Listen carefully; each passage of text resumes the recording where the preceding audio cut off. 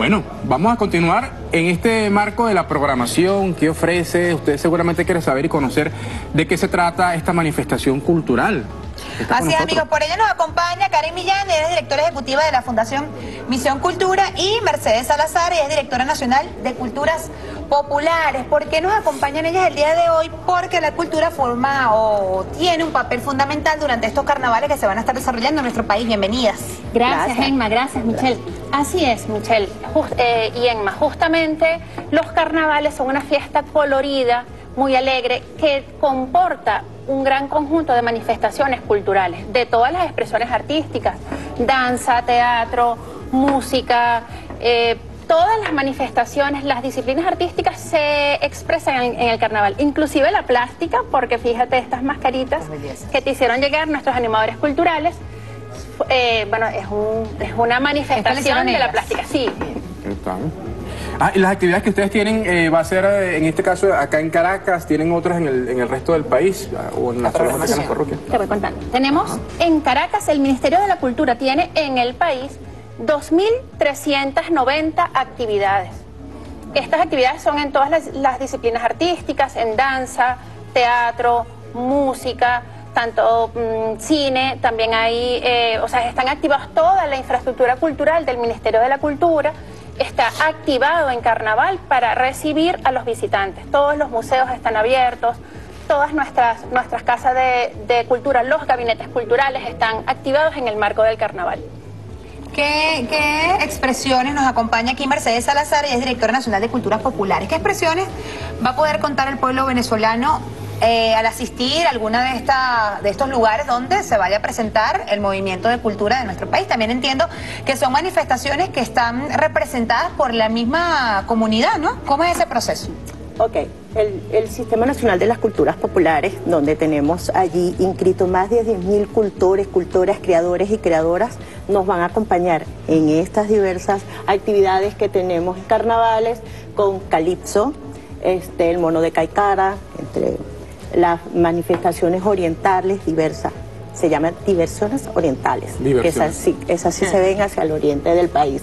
Como vimos al inicio del programa, tenemos la burriquita, que esa nos acompaña durante todo el año este, para, para animar, pues, y y llevarnos esas, esas manifestaciones. ¿Cuáles son esas que, por ejemplo, se conocen poco o son menos mediáticas? Me, me decías esta última, creo que es del estado de Monagas. Monagas, el mono de Caicara. ¿Cuáles son esas otras que quizás no se conocen mucho pero tienen muchísimo arraigo popular? Aparte del mono de, de Caicara, Wow, hay muchas. Tenemos más de 160 manifestaciones que todavía estamos estudiando. Este, eh, la Misión Cultura, a través del sistema, tenemos docentes, investigadores. Entre ellos tenemos al cultor Juan Pérez, que es el que está tocando allá la charrasca. Eh, eh, Tradiciones de Venezuela se ha encargado a través de Misión Cultura de hacer todas estas investigaciones, junto con la maestra Yadira Ardila, que hoy no nos acompaña porque está lesionada de, de la rodilla.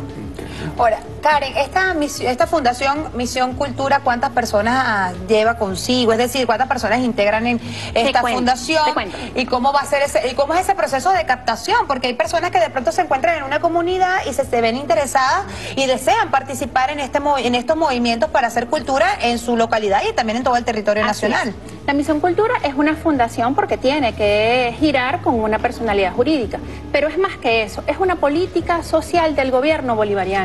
La Misión Cultura es la política social del gobierno bolivariano en materia cultural.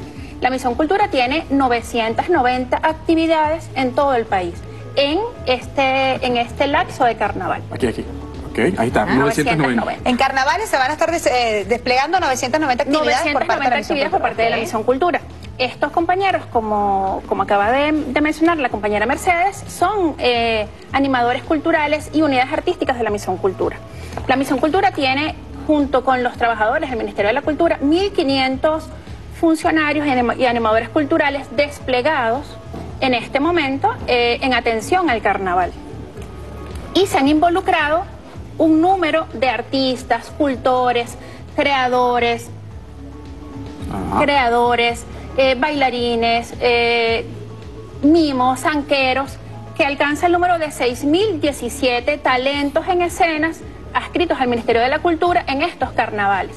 A este número hay que sumarle, porque hay que hacer eh, justicia, aproximadamente 3.000 niños que son alumnos de la Misión Cultura, que conforman los núcleos colmeneros o que, y que conforman las unidades artísticas de la Misión Cultura, que también están eh, involucrados en todos los desfiles en todo el país. Cada alcaldía tiene ha programado desfiles, comparsas. comparsas, diversas actividades y en eso también se han involucrado nuestros niños y niñas. Además que el carnaval es de todos, todas las escuelas bolivarianas, todos los simoncitos, toda la, toda la escuela básica tiene eh, procesos de carnaval, de elaboración de máscaras, de, de, participación en comparsas, porque algo que caracteriza el carnaval es que es una fiesta colectiva, a diferencia de otras manifestaciones que se celebran a lo interno de la familia o a lo interno del hogar el carnaval irrumpe en la vida pública, toma el espacio público y la gente se adueña del espacio público. Por y en todas las edades. a todas las edades. ¿Dónde pueden, dónde pueden eh, las personas que quieren conocer la programación de ustedes eh, a través de la cuenta Twitter? a través de las redes sociales del Ministerio de la Cultura se está difundiendo toda la programación.